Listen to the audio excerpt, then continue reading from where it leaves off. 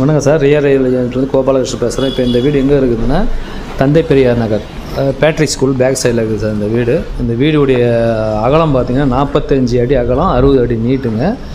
வீடு கட்டி கிட்டத்தட்ட இருபத்தி அஞ்சு வருஷத்துக்கு குறையாத ஆகுதுங்க வீடு கட்டி.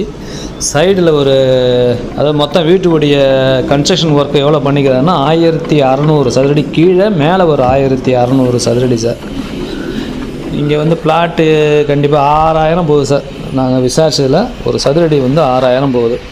அவர் எவ்வளோ விலை சொல்கிறாருன்னா ஒரு கோடியே எழுபத்தஞ்சு லட்சம் ஒரு பைசா கூட குறைக்க மாட்டேன்ட்டாருங்க. ஏன்னா நாங்கள் போய் பேசிட்டோம். அவர் சொன்னதே ஒன்று எழுபத்தஞ்சு தான் சொன்னார். நாங்கள் போயிட்டு கொஞ்சம் விலையை குறைங்க சார். ஒன்று ஐம்பது கேட்டோம். அப்போ ஒன்று அறுபது கேட்டோம். கொடுக்க மாட்டேன்ட்டார். ஒரே வேலை. அப்படின்ட்டு நாங்கள் எழுந்து வந்தாச்சுங்க.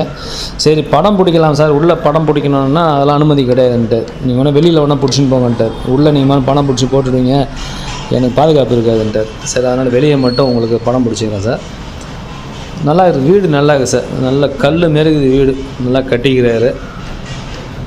பேட்ரிக் ஸ்கூலுக்கு அப்படியே பேக் சைடில் சார் வீடு. விருப்பம் உள்ளவங்க ஃபோன் பண்ணுவாங்க இது வந்து சவுத் ஃபேஸ் வரும் சார். ஃபேஸ் வந்து சவுத் ஃபேஸ் வரும்.